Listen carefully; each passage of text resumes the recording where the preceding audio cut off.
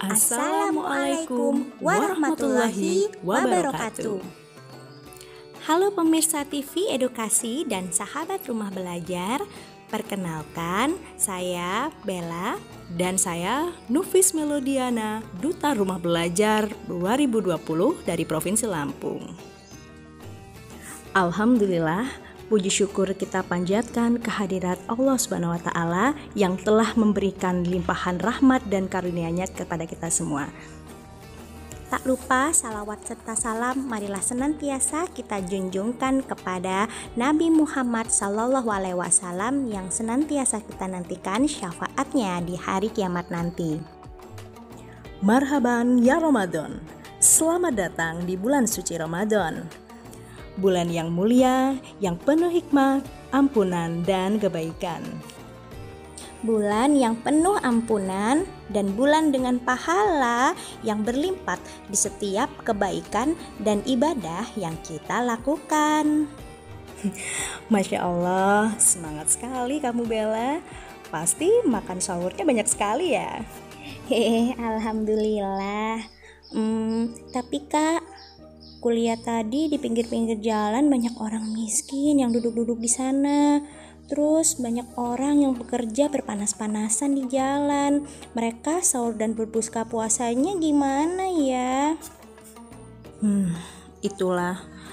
Apalagi pada masa pandemi seperti ini. Tak mudah bagi banyak orang di luar sana untuk mencari nafkah.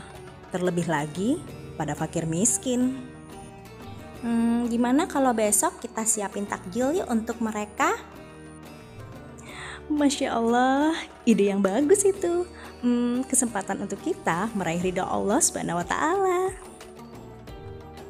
Memberi makan orang yang kelaparan, terutama fakir miskin, itu berpahala loh. Wah. Dalam hadis riwayat Tabrani, Nabi Muhammad SAW bersabda, Barang siapa yang memberikan makan kepada seorang mukmin hingga membuatnya kenyang dari rasa lapar, maka Allah akan memasukkannya ke dalam salah satu pintu surga yang tidak dimasuki oleh orang lain. Masya Allah, tapi Bella kan tidak punya banyak uang. Memberi makan tidak harus tugu kaya. Justru memberi makan dalam keadaan sempit, pahalanya sangat besar di hadapan Allah Subhanahu wa taala.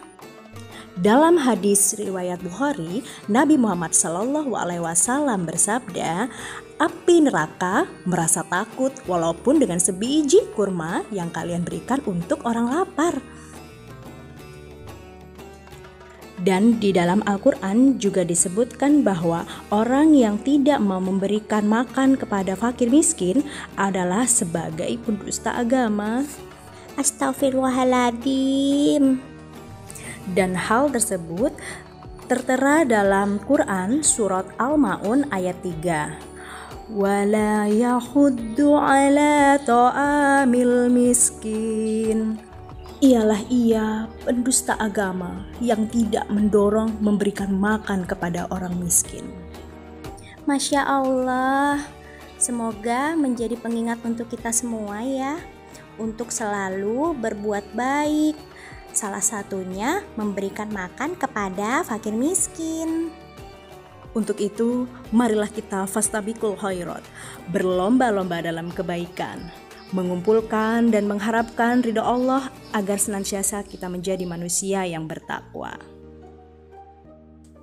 Pemirsa TV Edukasi dan sahabat rumah belajar, kami akhiri perjumpaan kita kali ini.